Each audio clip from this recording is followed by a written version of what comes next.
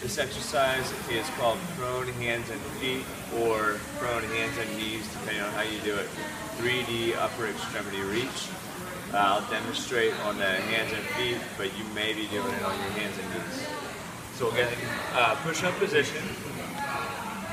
We're going to leave one arm down, the other arm is going to drive. The first direction is going to be to reach back.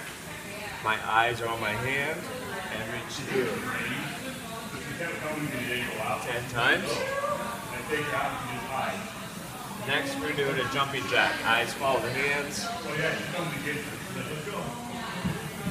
Ten times. And then we're rotating, going up and down. Underneath for a set of ten as well. We would immediately switch and start the other side.